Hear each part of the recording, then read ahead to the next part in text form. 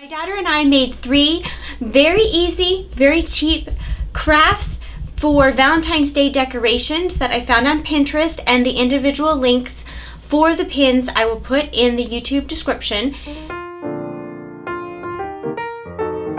This month's Pinterest challenge, Amy said to find anything Valentine's Day related. And if you want to see the rest of the ladies that participated in this collab, the playlist link will be in the description and I'll try to have it pop up somewhere here. We made a banner of hearts to hang across the window out of coffee filters. We made some paper hearts to hang on our railing and we made a heart wreath to hang on our door. For the coffee filter heart banner, you're going to need some round coffee filters, washable markers, a spritz bottle, some yarn, and some scissors. So you just color on the coffee filter however you want.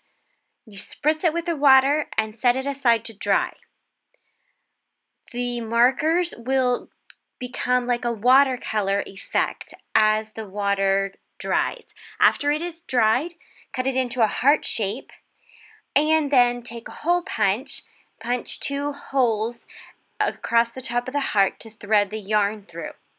After you thread the hearts on the yarn, you have a pretty Valentine's Day banner that can be hung wherever you want.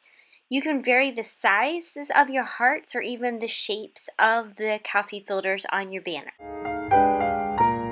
For the paper strip hearts, I used a paper cutter, stapler, different colors of paper, and one is cardstock, and some scissors. So we have our two big long ones. These are about an inch wide, and then your next ones have to be about an inch shorter, and the next one's uh, roughly an inch shorter.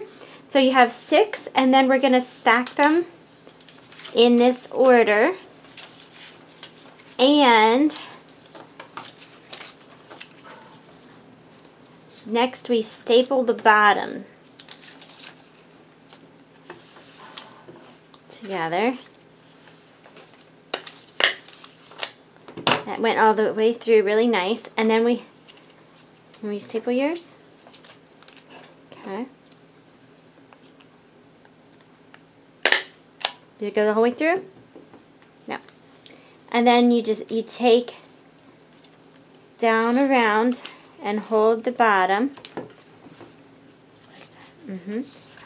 And then the next one so we're lining up the edges down here.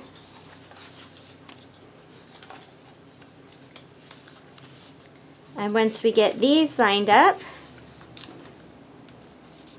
staple this, and voila! We have a heart. You can let your creativity run wild and have fun with these hearts. You can change colors, change the widths of the paper, change the amounts of hearts you have within each other, the lengths of them. Be creative and have fun. We decided to hang them from our banister, but I'm sure you could find lots of places to hang them, including from your chandelier. I don't have double-sided craft paper, so I'm putting two together. This was 12 by 12, and I'm going to go ahead and cut one inch strips and fasten them together into uh, hearts.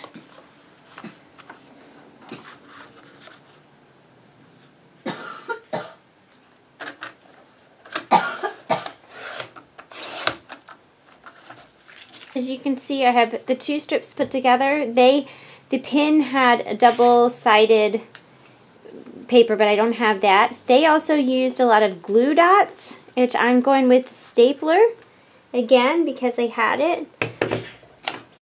So as you saw, I just, I folded it in half and stapled it a little bit. That's going to give the middle.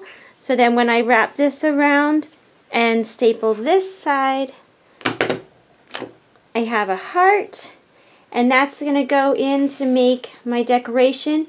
And again, they had glue dots to glue here. I'm going to try and just put a little bit of white school glue.